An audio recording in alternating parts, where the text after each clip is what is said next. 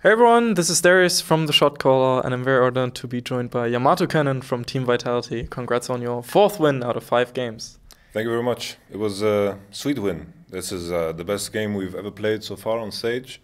I think macro-wise, uh, it was amazing to watch. I think our TP up into the top lane was uh, like it was genius, and uh, that took the game by storm. And we kept pressuring them, and macro-wise, we were on a different level.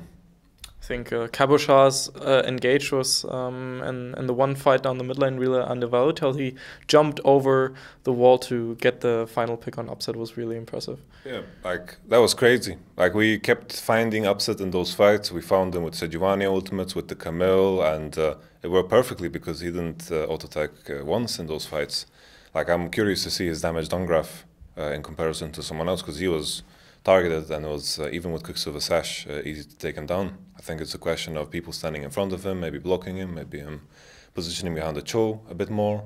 But uh, all in all, like the Camille ults and the Sejuani ultimates in the team fights definitely were on point. You almost have to feel sorry for the guy. yeah, yeah, for sure. Like um, uh, in this case, you know, in this game, I, I gave them Kalista, which was a mistake because usually how people draft uh, on blue side is that they uh, set up for a mid lane pick and uh, Kalista has been something banned on blue side and I just didn't expect them to ban what they banned because I don't think the bans mattered. And neither, neither did ours in the end because we let Kalista open and uh, Kog'Maw, Caitlyn ban don't really make uh, an impact then. And even after that, uh, uh, Kalista, giving them Kalista, uh, my boys really pulled through and they did a lot of heavy duty work today really proud of you boys, of course. Of course, of course. Now, before the, the season actually started, you completely revamped the roster with the exception of Cabochard. Um, was it hard to find those specific players because they've had been playing together for a while? So uh, I guess that must have been a bit easier. But why go for them specifically rather than other talents that were available, for example? So my reasoning, I'm going to start with just a reason as to why I kept Cabochard, like his reputation uh, has been, oh, he just needs resources and all this crap, and I think that's uh, bullshit.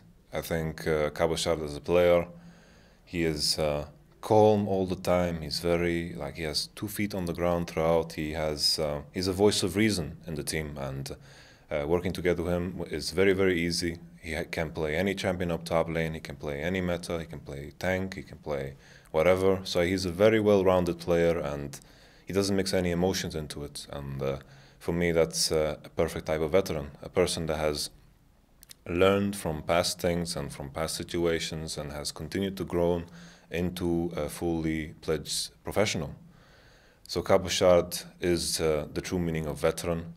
Uh, for the other four players, uh, you know, when I look at players, I want to have hungry, motivated, talented players. It's uh, looking at these players and what um, they achieved in the last year uh, was amazing, not only because of the results, mm-hmm. but also because of their growth curve. They continued to um, become better and better. Jiizuke and Mini Trupax became better and better. Jactroll Im- improved immensely, while Gilius was the leader that these uh, young players at the time needed. And uh, Gilius uh, was a shot caller, and uh, communication is something that uh, I undervalued in the past.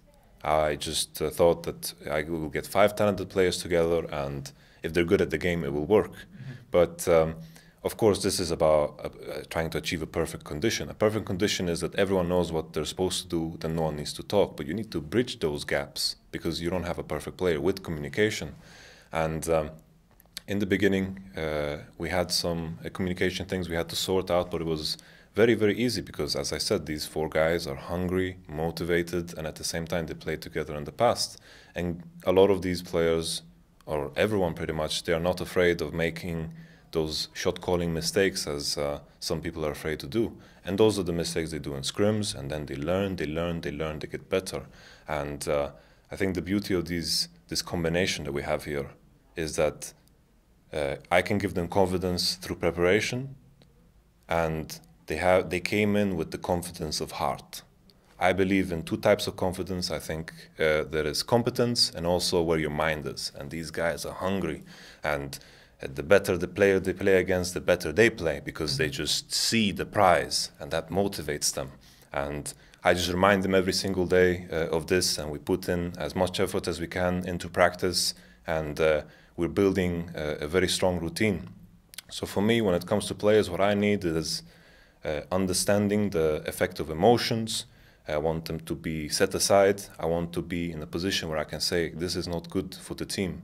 And then, period, we move on because they can see we need to move past this to. Mm -hmm uh, of course, achieve greatness. And uh, we're in a position where everyone's so hungry and motivated, so they will do anything just to get better. And uh, that is the story of our team right now. We are working really, really hard, and even if we are 4-1 or if we were 5-0 now, it doesn't matter. The result doesn't matter. You know, it's good to win. It feels good to win. But at the end of the day, all these guys want to do is to achieve greatness, and that we do through improving every single day, making sure that every single moment counts. Because in the end, this is a race. We have a good start, and we are not getting uh, uh, like we're not feeling safe at all. We are just striving to become more and more because we want to beat the best of the best. And you've already done that to an extent. Now you do have that head start. You said that you're not going to be lazy. Uh, you've mentioned mentality is a huge factor. Now, one of you, the players, potentially one of the more important ones because you've mentioned him being the primary shot caller. Gilius has had a reputation that was questionable at times. I got to talk to him personally and didn't get that impression whatsoever. Have you changed his mindset in some ways? Is he properly reformed, maybe? No, this Gilius, he's a wonderful asset to have in a mm. team. If people uh, understand him, then you know you can all of a sudden see what kind of power he has over a group. Because we have to keep in mind that when you are working together with, we are six people, seven people uh, uh, with our analyst. Mm. Uh, and of course, our manager makes us eight people. We are a dynamic, right? And the dynamic needs to be healthy and the atmosphere needs to be good. And what Gilius does, he has this power to just motivate everybody. He is so hungry and so determined and so confident that it spreads it spreads to everyone around them. If you are in the same room and you understand Gilius, you become confident. You all of a sudden have this drive because Gilius, he works freaking hard. He can take criticism and he will take it and he will make the most out of it. And already in these weeks that we work together, which uh, I guess it's, uh, what, what is it, uh, I think seven weeks, seven, six weeks, he has done enormous strides. Uh, we have all, uh, as a group and individuals, improved so much. And uh, I see no point in us um, slowing down at all. And Gilius is a wonderful asset for a team to have. Nothing but praise. That's nice to hear. And again, you know, I've got to talk to him personally, and it did get the same impression. I was actually very surprised for me personally, you know, only seeing Gilius from a distance, which probably the viewer would um, would be in the same case, and then getting to meet him in person is a very different figure at times. Very interesting, for sure. Jiizuke, right now, is tearing up the EU LCS. How? how is he so insane, and how was he not picked up beforehand? How did it take so long for him to get recognized? Jiizuke as a player, he um, the the strength that he has is that he applies thought process to every single thing he does. Every single thing. If I ask Jiizuke, why did you do this and this, he doesn't hesitate to answer because of this and this and this.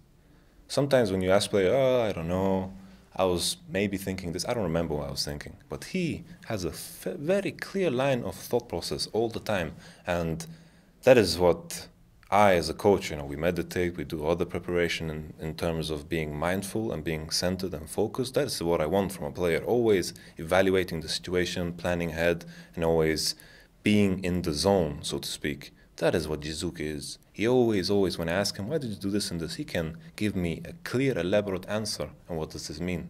He is mindful and he also, all the time, carefully plans out what is supposed to happen. And on top of that, his execution is sublime because mechanically, this guy, he's wonderful. He's always beyond words. His rise as well. It's fantastic to watch yeah. for sure. Good luck banning him out.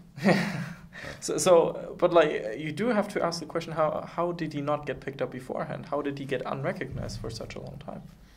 Well, I think uh, a lot of organizations and a lot of uh, coaches they just want to have, um, you know, to come into the off season. They just want to take the name that they recognize, and they think that that gives them some kind of comfort. Mm-hmm. But in the end, it doesn't. It really doesn't.